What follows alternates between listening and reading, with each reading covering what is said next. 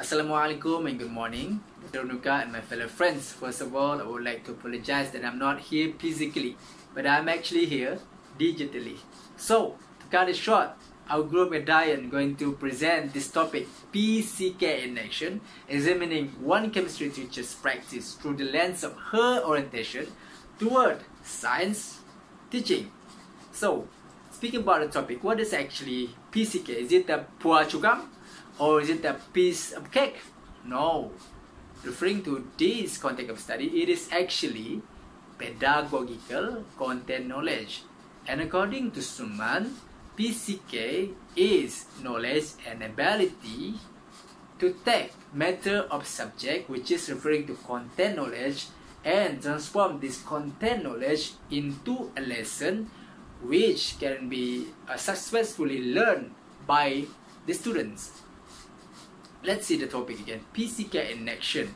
The word action here referring to the this research is actually an action research. That's why uh, the researchers specifically examining one chemistry teacher's practice through the lens of her orientation towards science teaching.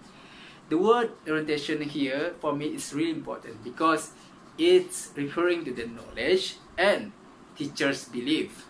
What is teacher's belief teachers believe, according to uh, Keith Bryan, teacher believes teachers beliefs about how student learns and how they should be taught have been shown to influence teachers' instructional choice. So, teachers' instructional choice actually are influenced by how students learn and how they should be taught. So for me, for me, this is more into constructivism, and it is actually supported by Jones and Carter, where they say teachers with constructivist view use constructional strategies like inquiry. So this inquiry is more into constructivism because we encourage students to ask more, to ask more what they want to learn in, in, in science context. And according to Rosbach et al. and Luft and Roehrig, uh, teachers believe is providing manner for understanding teacher's choice in instructional practice, classroom management, and assessment technique. In Magnusson et al.'s model of PCK, beliefs are an integral part of teacher's PCK. The model describes PCK as being composed of teacher's orientation towards science teaching which influence his or her first knowledge of science curriculum. Second, knowledge of student science understanding.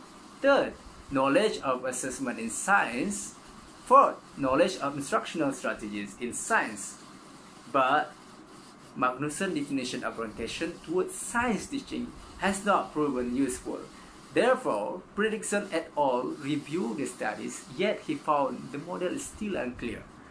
That's why Friedrichsen et al. proposed that the orientation to science teaching should be redefined to include three parts of teacher's belief, which is about first the goals and purpose of science teaching. The second one is the nature of science, and the third one is science teaching and learning.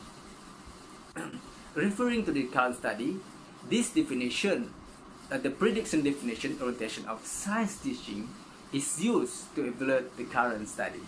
So I'm gonna pass the floor to the next presenter, to my fellow presenters. And then thank you so much.